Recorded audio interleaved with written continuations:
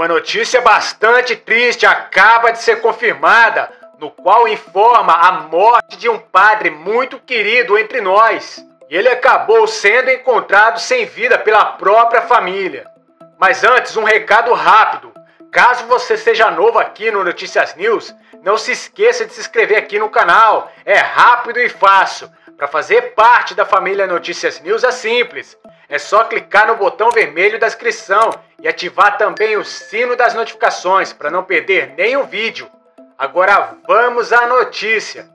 Segundo informações publicadas pelo portal de notícias G1, na tarde de hoje foi confirmado que acabamos de perder uma pessoa muito querida.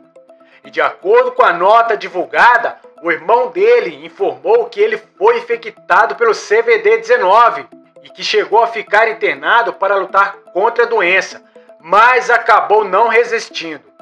Nas redes sociais, algumas pessoas lamentaram o seu falecimento.